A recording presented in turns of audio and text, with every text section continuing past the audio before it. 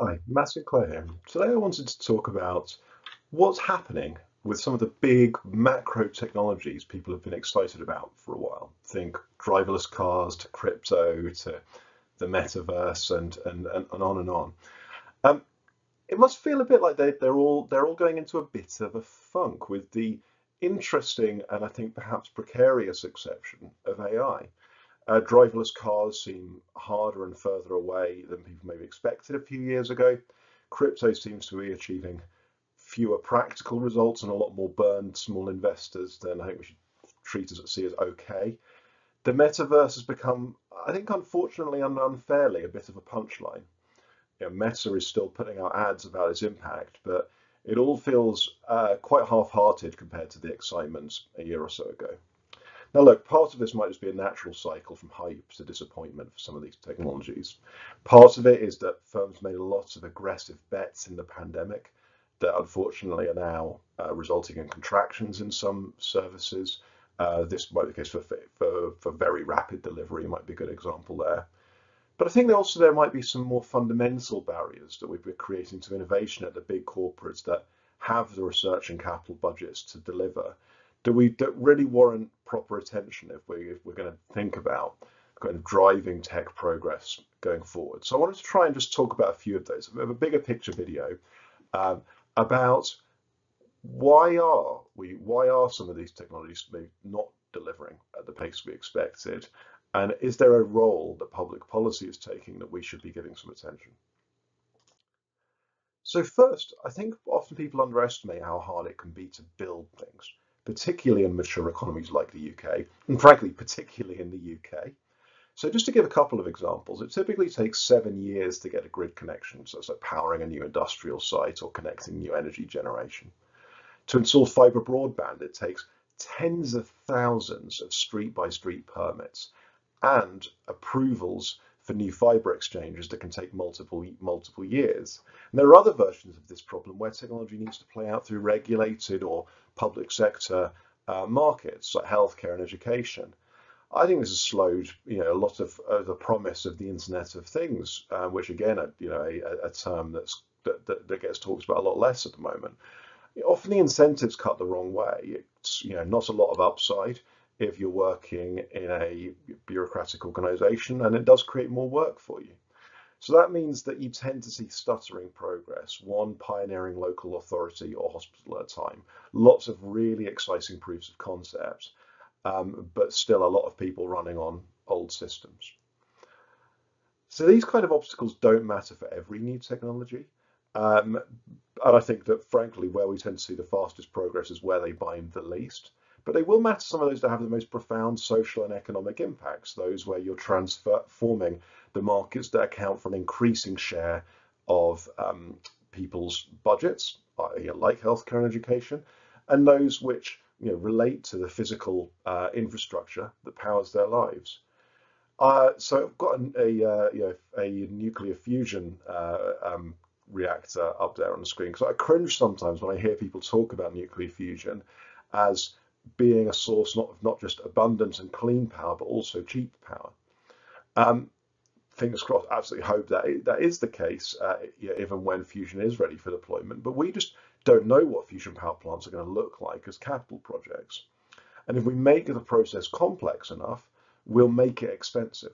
I think it's a large part of what's happened to the fission nuclear power. And there's no real reason why we can't do that again it will be one thing to, you know, one very non-trivial challenge to get nuclear ready as a source of power, another to get it built, deployed, connected on a large scale. And I think we are getting slower and slower and slower. Uh, and that means more and more costs because time is money uh, to deliver this, this stuff. And I think you think that can hold back really exciting tech. Next, second issue I see a lot, and I think this kind of just, just affects all kinds of decisions at a secondary level, is a relative complacency about living standards versus worries about jobs. Most recent example here was in the resignation of an AI researcher at Google. One of the risks he cited um, was the risks to employment and labour markets. Now, I've talked about some of the other risks in an earlier video, um, on risks with with what he called what what a, uh, another author called godlike AI. So I won't go over those again here. But I was talk particularly about jobs because um, this does have a lot of kind of reach and concern in the tech sector and the discourse around tech. So um, there's been a number of kind of prominent figures in the tech scene who've promoted a universal basic income. And this is tends to be premised on the idea that we've got plenty of money, we're going to generate these sort of oceans of wealth and productivity. So we just need it to go around. Um, we just need to make up for the fact that it's going to make lots of people, um, it's going to make generating that wealth so effortless that we just don't need most of the population. I think we just need a reality check about that. In recent decades, we've been doing pretty well on jobs. You know, the, the, the rate from decade to decade in employment actually looks pretty good. Now, look, don't want to be complacent. Whether that will continue to be the case in the future is we'll, we'll see. But compare that to productivity, where productivity growth has been slowing, you know, pretty much however you look at it. Um, now, new technologies tend to look pretty good on living standards, but tend to make people nervous on jobs. So if you have this focus on, you know, where are the jobs? Where are the jobs going to come come come from? What are we going to do about employment versus what are we going to do about um, uh, output, uh, driving productivity, driving wages? Then it's going to look much more difficult. Uh, and I think that will lead to just a general bias in policy uh, against doing new things, uh, against um, uh, disruption. Uh, and this it strengthens the ability of vested interests to push back against change. Look at how uh, the kind of negative trends in trade policy globally and particularly in the United States.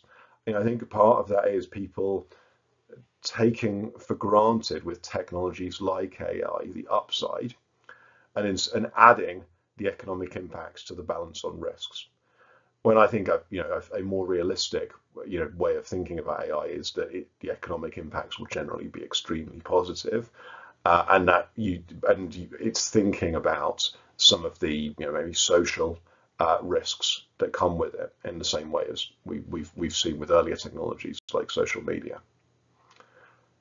The third area I wanted to talk about, this is maybe the biggest, is I think there's a growing risk reward problem for the bigger tech companies, which matters because so much technical talent and potential to invest in big projects is there. Not to say that's where all the innovations are going to come from. Historically speaking, an awful lot of innovation comes out of smaller, uh, smaller startups, um, uh, you know, high growth gazelles, they're often called, that you know, go from being small to large businesses. But these, these big businesses have a role to play, and a lot of them, it's worth remembering, are conglomerates to some extent. They have a large, profitable core business, which they are using to sponsor bets in newer markets, e.g. like a, a, core ads business sponsoring investment in driverless cars or AI or whatever it might be, or the metaverse. Now, I think there's a problem there where regulator power is growing. So the value of corporate reputation grows as well. People are more worried about create, about risking some kind of backlash that will lead to additional scrutiny over their core business. I think we saw a really explicit version of this with well, what was then Facebook's um, um, experimenting cryptocurrency. It was threats to the core businesses of their, their partners in, in the financial services, which I think really doomed that effort more than anything. You know, they weren't able to articulate the upside, the, the, sort of the economic uh, benefits very effectively. I think you know they, they, they didn't do a good job of telling the story about the potential upside, uh, and they talked the business down too much. Uh, and I think again, it was just all about trying to minimize that risk uh, to to uh, via public policy to the core business. And so you can think about it as a simple function. What you what businesses are weighing is the value of their core business, the chance, how likely a regulatory backlash is, and the cost of a regulatory backlash is if it happens. And they've got to weigh that implicitly against the value of the new business how likely that is to succeed, and these things are always, you know, a um, uh, an uncertain enterprise by their nature, and the share of the returns you keep, um, whether that's because of taxes or just because because naturally competition means that consumers get a lot of the benefit. Again, normally the expectation is that most of these benefits will not accrue to the original innovator. It doesn't mean that innovation can't be worthwhile, but it needs outsized returns um, because a lot of the benefits will go to others, which is a good thing, right? So right now, if the value of those new businesses feels uncertain due to a whole range of factors I won't cover here, and you know a lot of people feeling burned by some of the big investments made in the pandemic, and the regulatory costs seem large because regulators being empowered by major new digital regulations, that's shifting this balance. It's shifting this balance towards holding back. And in any large business, there's kind of a thousand reasons not to do something new. Um, and I think this is holding back.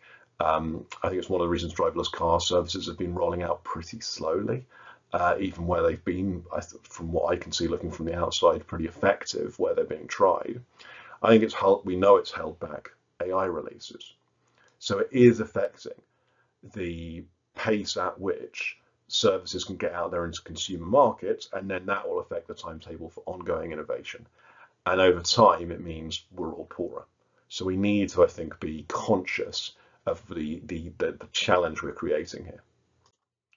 So just to step back to what this does, what, is, what does this mean? What should we, we take if you, know, if you buy my thesis here about why tech might be slowing down? Firstly, for tech companies, I think there's an interesting question about how to keep innovative projects moving forward. You know, again, any big corporation, there's always a lot of reasons to to say stop, say hold back.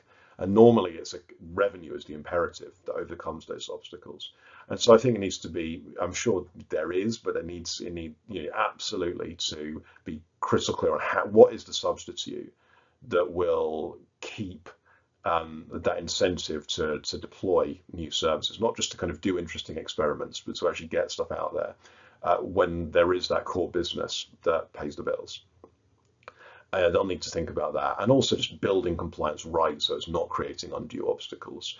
You know, I think sometimes the kind of uh, patches as you go approach uh, that people can take when there's so many new regulatory requirements coming coming in um, can inadvertently make the aggregate impacts on people's ability to innovate higher because they're just having because there's more systems, more obstacles, more holdups.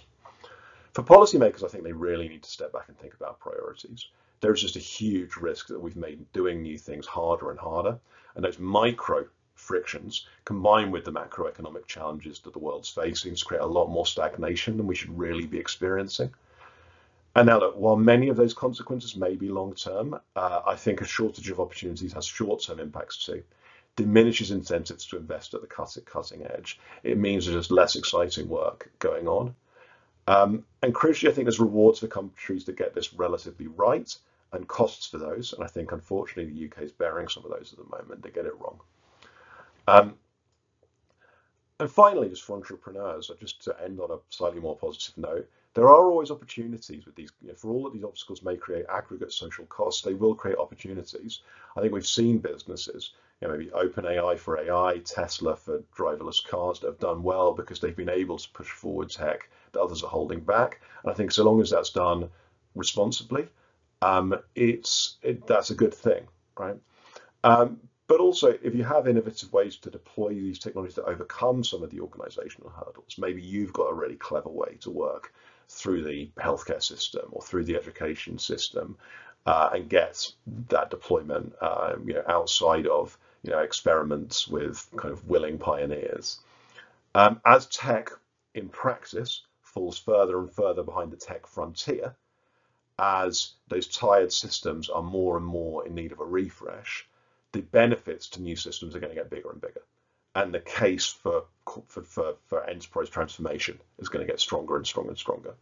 So I do do think there will be opportunities here, uh, and I also and I think that the, the, the that there needs while at the same time as I think there needs to be that market solution needs to be combined with bigger picture thinking about are we creating um, a slower uh, underlying rate of technological growth than we should be?